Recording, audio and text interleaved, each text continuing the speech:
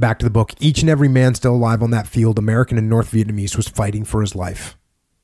In the tall grass, it was nearly impossible for the soldiers of either side to identify friend or foe except at extremely close range. Americans in olive drab and North Vietnamese in mustard brown were fighting and dying side by side. It may have begun as a meeting engagement, a hasty ambush, a surprise attack, a battle of maneuver, and in fact, it was all those things. But within minutes, the result was a wild melee, a shootout with just gunfighters killing not only the enemy, not only the enemy, but sometimes their friends just a few feet away.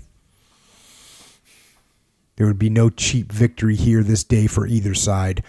There would be no victory at all just the horrible certainty of death in the tall grass. Unbelievable. Horrible. Horrible.